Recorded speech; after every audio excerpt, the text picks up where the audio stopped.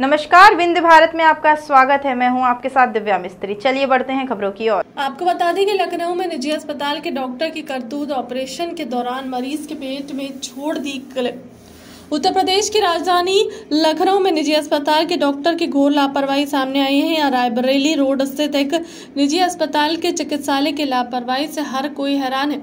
दरअसल डॉक्टर ने बच्चादानी के ऑपरेशन में मरीज़ के पेट में ही क्लिप छोड़ दी। जब मरीज़ को पेट में असहाय दर्द हुआ तो परिजनों ने जाँच कराई।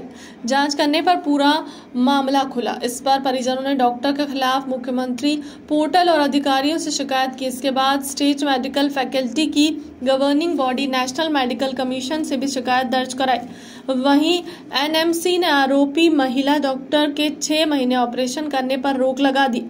इसके बाद ही सीएमओ कार्यालय को पत्र भेजकर एनएमसी ने आदेश पर अमल करने के निर्देश भी दिए हैं। परिजनों ने निजी अस्पताल में कराया महिला का ऑपरेशन था। जानकारी के अनुसार गोमती नगर में रहने वाले कृष्ण मुरारी की पत्नी को साल 2020 में पेट में परेशानी हुई थी। परिजनों ने मरीज़ को रायबरेली रोड स्थित निजी अस्पताल में दिखाया था। यह महिला रोग विशेषज्ञ डॉक्टर निर्मला ने मरीज़ की जाँच की और परिजनों को बच्चेदानी के ऑपरेशन की सलाह दी।